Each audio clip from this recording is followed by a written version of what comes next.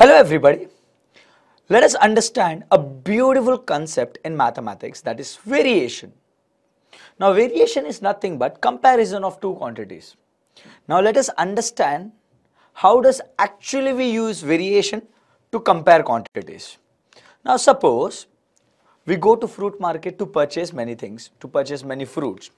Now many times what happens is while pu- purchasing, you ask, how much for 1 kg? He'll say, sir, rupees 50 per kg. That means for 1 kg, rupees 50. Now you'll ask, then how much for 3 kgs? 1 kg it is 50. So how much for 3 kgs? Definitely he'll say, sir, rupees 150 for 3 kg because rupees 50 is for 1 kg. So basically what is happening is, when there is a change in one quantity, there is also a change in other quantity. When the amount, when the weight of the fruit is increasing, the amount is also increasing. There is a change. Now this change is a sign of variation and that is what we are going to study in variation. Now let us proceed ahead. Weight, amount, suppose for 1 kg, the amount is 50. So for 3 kgs, the amount definitely 3 into 50 that is 150. Now let us find out the ratio. Now what is the ratio when we divide weight and amount? 1 divided by 50, the ratio is 1 upon 50. 3 divided by 150, it gets cancelled, 3 ones are and 3 50s are. That means both the ratios are equal.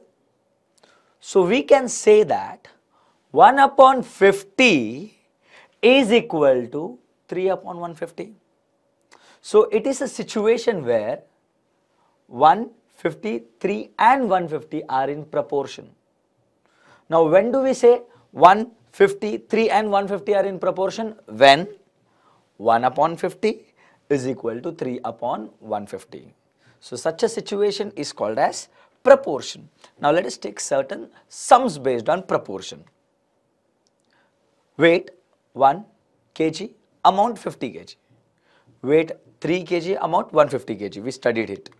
Now, now the weight is increasing and amount is increasing. Now what happens is, one variable increases, other variable also increases, we call it as direct variation or direct proportion. We, it may be a situation of direct variation or direct proportion. When one quantity increases, the other also increases. It may be direct variation or direct proportion. Let us proceed ahead. In which of the following said are the numbers in proportion? Now there will be certain set of numbers given to us. Now we need to state whether they are in proportion or not. Now how do we know whether a given set of numbers are in proportion or not? When the ratios are equal. So let us see. 28, 16, 21 and 12. The four numbers given to us are 28, 16, 21 and 12. Now what are we supposed to do is we are supposed to state whether they are in proportion or not. Now if they are in proportion their ratios should be equal. So let us find out the ratios. So the ratio of first two numbers 28 upon 16. Now 28 is 7 into 4 upon 16. 16 is 4 into 4. Now what happens is 4 4 gets cancelled what remains is 7 upon 4.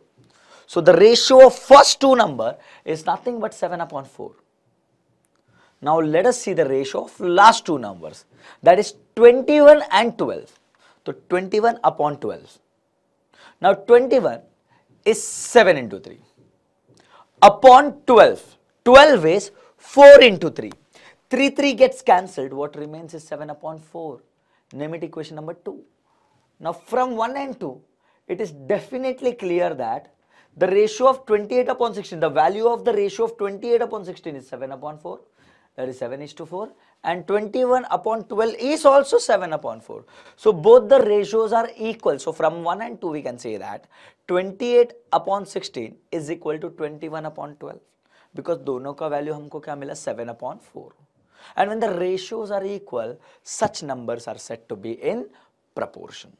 So, we can say that 28, 16, 21 and 12 are in proportion in a beautiful okay box. Let us take one more example. 12, 32, 15 and 35. The four numbers given to us. We need to state whether they are in proportion or not. Now if they are in proportion, the ratios will be equal. If they are not in proportion, the ratios won't be equal. So let us take the pair of first two. 12 upon 32. Let us see what gets cancelled. 12 is 4 into 3. 32 is 4 into 8. 4 4 gets cancelled. What remains is 3 upon 8. 15 and 35. 15 is 3 into 5 or 5 into 3. 35 is 5 into 7. 5 5 gets cancelled. What remains is 3 upon 7. Name it equation number 2. Now the ratio of first two number is 3 is to 8. That is 3 upon 8. And the ratio of last two number is 3 upon 7. So from 1 and 2 we can say that 12 upon 32 is not equal to 15 upon 35. Now when they are not equal, they cannot be in proportion. So 12, 32, 15 and 35 are not in proportion. Very simple one. Now children, let us take few situation. Number of students, the contribution, contribution for anything, say for some welfare fund. 5 students, 10 students, 15 students and 20 students. The contribution from 5 students was 100. From 10 students was 200 double. From 15 students was 300. From 20 students was 400. That means when the number of students are increasing, the amount of contribution is also increasing. They are having the same effect, a situation of variation. Another example, pages read daily and number of days required to read a book. Definitely, number of pages 20, 5, 10 and 15. If you read 20 pages a day, you will complete reading the book in 15 days. Now number of pages read daily is reduced. So number of days required will be increased 60. Increased, it gets reduced 30. Increased, it gets reduced 20. So it is a situation where one quantity increasing and other is decreasing, the opposite effect. Here, one quantity increasing, the other is also increasing, same effect, the corresponding effect. Such situations, both the situations where one is increasing, other is increasing, one is increasing, other is decreasing. Such situations are called as situation of variation. Direct variation. Now there are two types of variation. The first one is direct variation. So let us understand what is direct variation. Observe the table. Number of pens, cost of pens, the ratio of the number of pens to their cost and definitely the simplest form of the ratios. Number of pens 4, cost of pen is 10. The ratio of the number of pens to their cost will be 4 upon 10. When you cancel it, you simplify it, you get 2 upon 5. Now number of pens is increased by 2, 6. Cost of pen will also be increased 15. Ratio 6 upon 15. You cancel it, 3 2s are 3 5s are once again 2 upon 5. Now let us increase the number of pens 20 from 4 to 20. So cost of pen is also increased 50. Their ratio 20 upon 50. So definitely it is also 2 upon 5. One more example. Number of pen is 28. Cost of pen is also increased 70. Take their ratio 28 upon 70. That is once again 2 upon 5. Now if you see, when number of pen was increasing, the cost of pen also went on increasing, situation of variation. Same effect, chances of direct variation. But how do we confirm whether it is direct variation? Check their ratios. So very simple.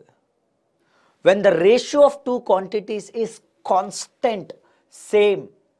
When the ratio is constant and same, then the two quantities are said to have direct variation with each other.